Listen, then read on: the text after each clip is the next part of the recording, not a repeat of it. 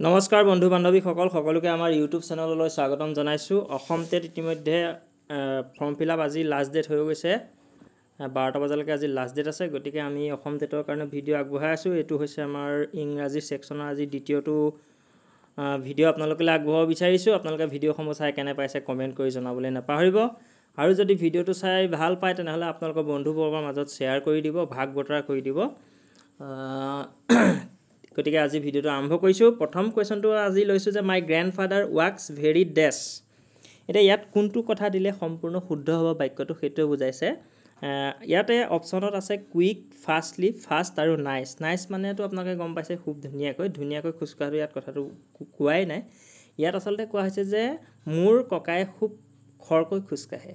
গতিকে খৰকৈ খোজকঢ়া কথাটো ইয়াত মানে বেগৰ কথা কোৱা হৈছে। বেগ মানে স্পীডৰ কথা কোৱা হৈছে। গতিকে স্পীডৰ কথা কোৱাৰ কাৰণে ইয়াতে ফাষ্ট শব্দটো ব্যৱহাৰ হ'ব।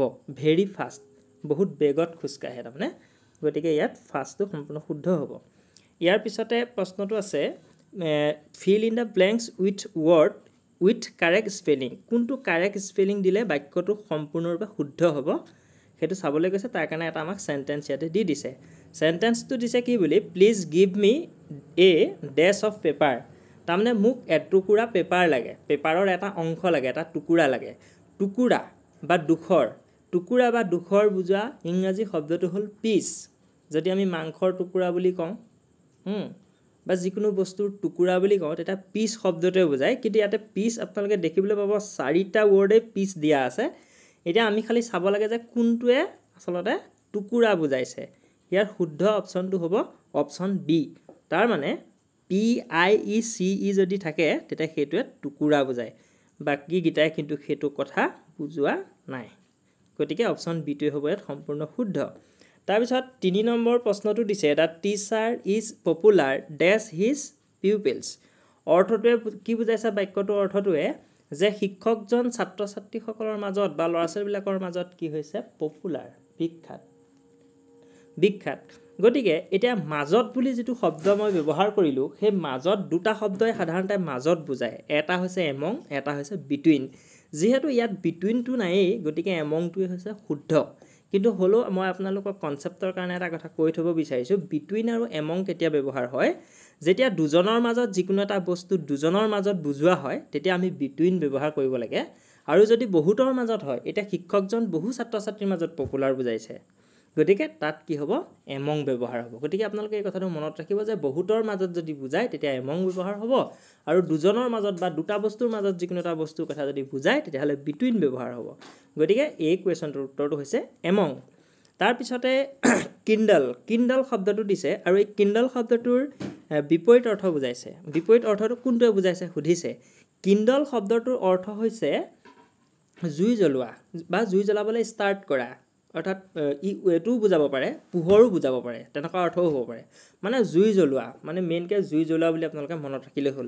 এতিয়া ইয়াতে কিছুমান অৰ্থ দি দিছে ইগনাইট ইগন'ৰ এনকাৰেজ এক্সটিংগুইছ এতিয়া এই শব্দবিলাকৰ অৰ্থকেইটা মই আপোনালোকক কৈ দিছোঁ। আপোনালোকে জানে যে এনকাৰেজ মানে হৈছে কি? উৎসাহ জনোৱা।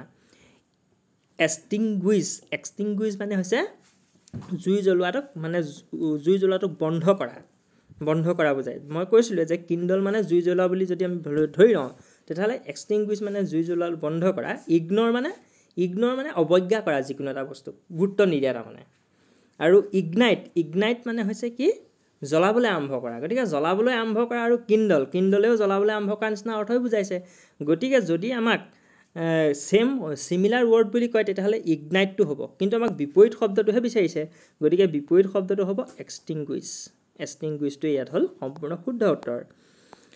ইয়াৰ পিছত প্ৰশ্নটোলৈ গৈছোঁ দুটা টেক কুৱেশ্যন টেক কুৱেশ্যনটো আমাৰ বহুত ইম্পৰ্টেণ্ট টেক কুৱেশ্যন আহেই আৰু এইবাৰো নিশ্চয় আহিব। গতিকে এই টেক কুৱেশ্যনকেইটা আমি কেনেকৈ কৰিম এতিয়া চাব। টেক কুৱেশ্যনৰ অৰ্থটো হ'ল এনেকুৱা যে যিকোনো এটা কথা আমি যদি নহয় বুলি কৈছোঁ তাক হোৱা কৰিব লাগে। মানে নিগেটিভত থাকিলে তাক পজিটিভলৈ নিব লাগে আৰু পজিটিভত থাকিলে তাক নিগেটিভলৈ নিব লাগে। ধৰা হ'ল এনেকুৱা এটা বাক্য যে আপুনি চাহ খালে নহয় জানো? আপুনি চাহ খালে নহয় জানো? তাৰমানে আপুনি চাহ খালেতো হৈছে এটা পজিটিভ ৱৰ্ড পজিটিভ বাক্য। নহয় জানো? আমি তেনেকৈ সোধোঁ কেতিয়াবা বাক্যবোৰ।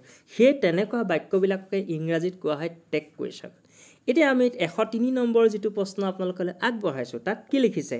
নাথিং কেন ষ্টপ আছ নাও নাথিং মানে নাথিং মানে কি আৰু? নাথিং মানে নোহোৱা বুজাইছে। তাৰ মানে ই নিগেটিভ বাক্য। Nothing can stop us now এতিয়াৰ পৰা আমাক কোনেও কি কৰিব নোৱাৰে বন্ধ কৰিব নোৱাৰে ৰখাব নোৱাৰে আমাক। গতিকে এইটো নোৱাৰে বুজাইছে তাৰমানে নিগেটিভ বুজাইছে। গতিকে নিগেটিভ হ'লে আমি ইয়াত যিটো ব্যৱহাৰ কৰিম সেইটোতো পজিটিভ কৰিব লাগিব। গতিকে কেন হৈছে কেন ভাৰ্বটো থাকিলে কেন থাকিলে আমি পজিটিভত থাকিলে নিগেটিভত আমি এইফালে ব্যৱহাৰ কৰিব লাগিব কেন নট যিহেতু এইটো নাথিং থকাৰ কাৰণে ই নিগেটিভ হৈ গ'ল গতিকে আমি ইয়াত ব্যৱহাৰ কৰিব লাগিব কেন ইট বুজি পালে নিশ্চয়? গতিকে ইয়াত আমি কেন ব্যৱহাৰ কৰিব লাগিব। মই অলপ আগতে কৈছিলোঁৱেই যে নিগেটিভত থাকিলে পজিটিভ আৰু পজিটিভত থাকিলে নিগেটিভ কৰাটোৱে হৈছে টেক কুৱেশ্যন নেক্সট কুৱেশ্যনটোলৈ মন কৰক। You don't play the piano তুমি পিয়ানো বজাব নোৱাৰা বুলি কৈছে। ডোণ্ট প্লে বা তুমি নবজোৱা। গতিকে এইটো নিগেটিভত আছে। গতিকে আমি পজিটিভলৈ নিব লাগে। ইয়াত বাক্যটোত মন কৰিবলগীয়া কথাটো আছে কি ইয়াত ডু ডু ভাৰ্বটো আছে। D O' N T don't তাৰমানে ডুনত আছে। গতিকে ডুনটটো থাকিলে ডুনত থাকিলে আমি যেতিয়া টেক কুৱেশ্যনটো কৰিম তেতিয়া ইয়াত আমি কি দিব লাগিব? ডু দিব লাগিব। বাকী ইজ ডোণ্ট ইউ এইবোৰ ব্যৱহাৰ নহয় ডাজ নটো ব্যৱহাৰ নহয়। গতিকে ডু ইউ ব্যৱহাৰ হ'ল। ইয়াত এটা কথা আছে কি যদিহে কেনেবাকৈ এইটো আই ঠাইত যদি চি থাকিলেহেঁতেন চি তাই তেতিয়াহ'লে আকৌ ডাজ ব্যৱহাৰ হ'ব ইয়াত। তেতিয়া ডাজ হ'ব। কেলৈ হ'ব? কাৰণ চিৰ লগত সদায় ডু ব্যৱহাৰ নহয়। চিৰ লগত প্ৰেজেণ্ট ইনডিফিনিট টেন্সৰ লগত ডাজ ব্যৱহাৰ হয়। সেই কথাটো আপোনালোকে নিশ্চয় জানেই। গতিকে ইয়াত শুদ্ধ উত্তৰটো হ'ব ডু ইউ নেক্সট কুৱেশ্যনটো চাওক।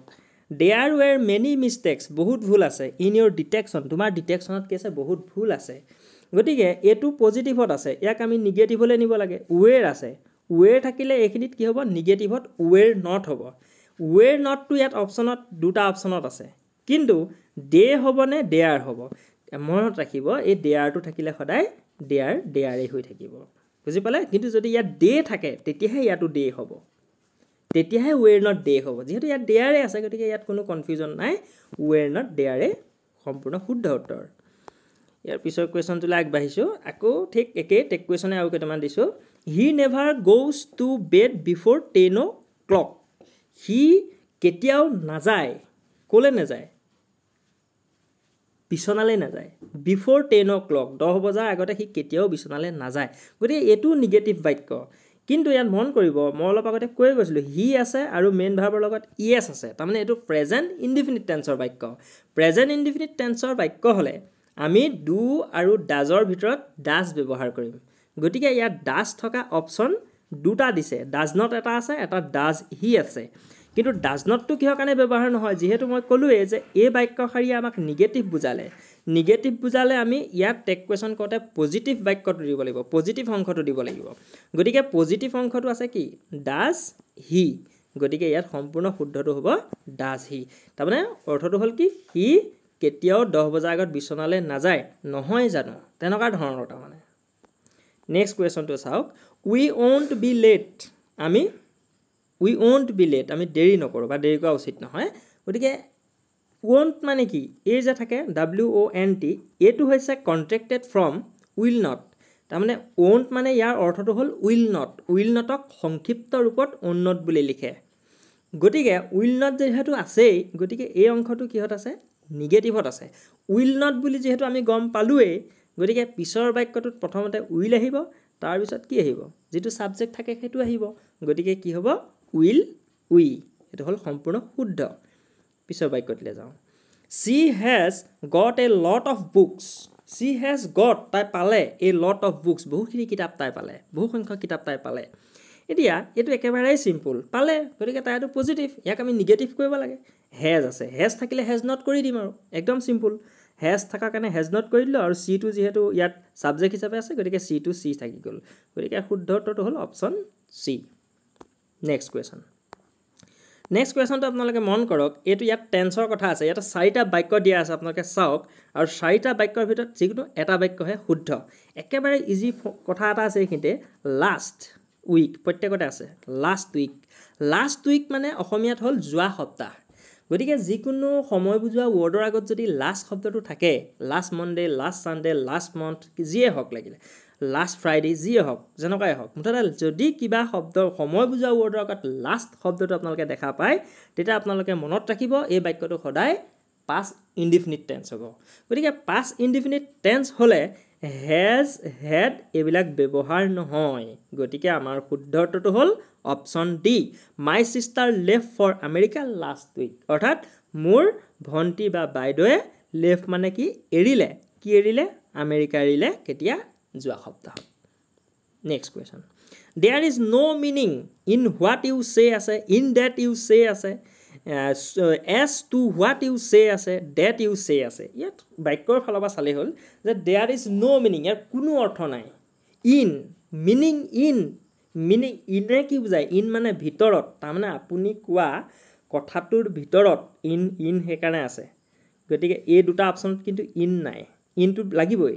গতিকে আমি চাব লাগিব যে এ আৰু বিৰ ভিতৰতে কিবা এটা শুদ্ধ হ'ব। তাৰপিছত ইন ডেট নহয়। তুমি কি কৈছা?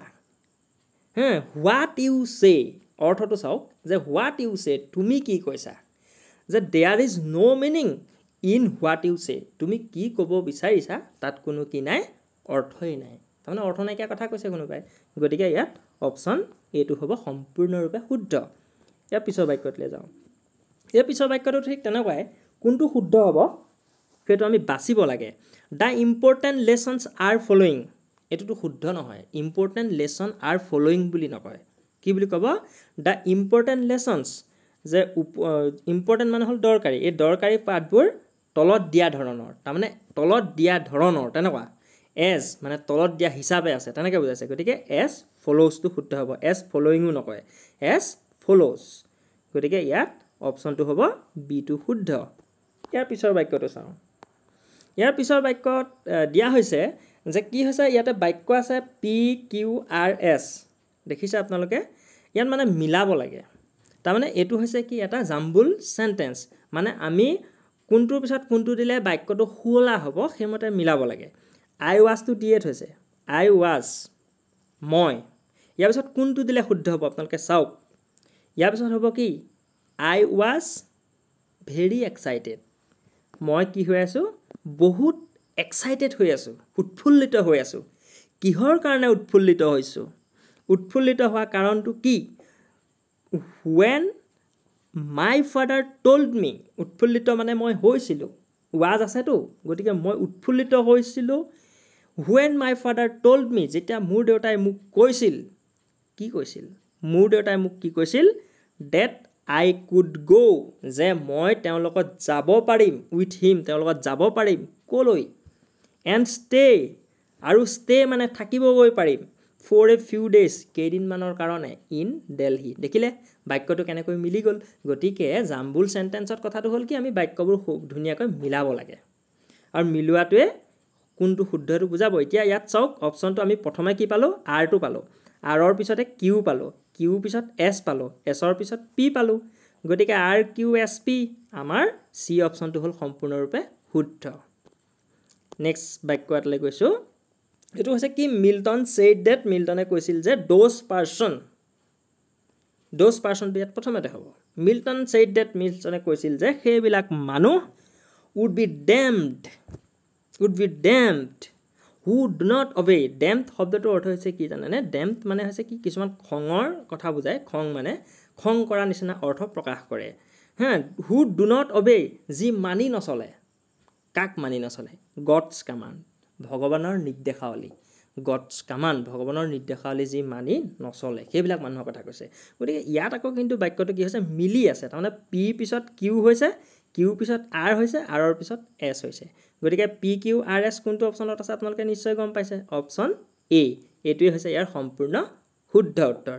পৰৱৰ্তী ভিডিঅ'লৈ আকৌ আগবাঢ়িম আমি। পুনৰ আপোনালোকৰ বাবে ভিডিঅ' আগবঢ়াই থাকিম। আপোনালোকে খালি ভিডিঅ'বিলাক চাই কেনেকুৱা পাইছে ক'ব। ধন্যবাদ। শুভৰাত্ৰি।